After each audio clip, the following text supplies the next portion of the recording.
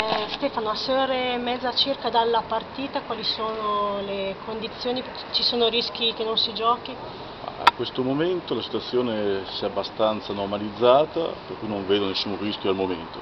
Naturalmente il problema neve, il problema meteo è un problema di contingenza, per cui lo vedremo verso le 5 o le 6, se aumenta la precipitazione potremo avere dei problemi. Per adesso quello che è stato il piano neve, fra virgolette, attuato, che è quello di una forte salatura di tutte le curve, per tutte le vie d'accesso alle curve che sono scoperte, fatto nei giorni scorsi, con lo spargimento di quasi 800 kg di sale, ha avuto i suoi effetti.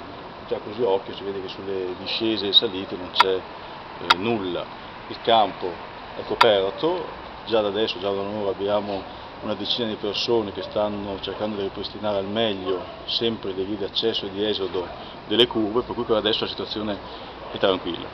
Naturalmente questo vale da qui a un'ora, magari non vale più per un'ora e mezza.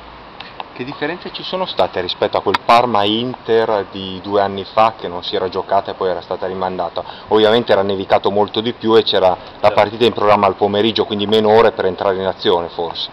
Quella mattina lì il nevicato è iniziato alle 6 del mattino e in tre ore ci sono stati quasi 12 cm di neve. In questo caso una nevicata che è iniziata veramente molto molto piccola alle 11, adesso per esempio è interrotta per cui non abbiamo avuto una precipitazione sensibile nevosa. In quel caso là era un'emergenza vera e propria, poche ore per il ripristino e tanta tanta tanta neve. Anche adesso se arrivassero 12 cm di neve o anche 5 la situazione cambierebbe in maniera radicale. La preoccupazione di Conte era soprattutto per il terreno di gioco, perché non voleva giocare la partita su una pista di ghiaccio. C'è questo rischio, anche perché si sono lette delle agenzie un po' allarmistiche che parlavano di temperatura eh, percepita di meno 10, ma un conto se la percepisce l'essere umano, un conto chiaramente è il campo. A livello meteo le previsioni, visto che sta nevicando, parlano di 0 gradi, massimo meno 2, stasera potremo arrivare a meno 3, meno 4, usiamo sempre il condizionale perché per adesso possiamo fare solamente questo.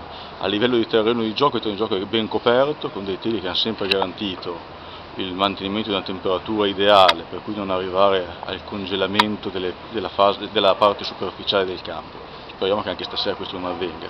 Certo, se arriva vento forte, come ho letto su qualche notiziario, con meno 15, mh, ghiaccia tutto, ma questo non c'è santo che tenga.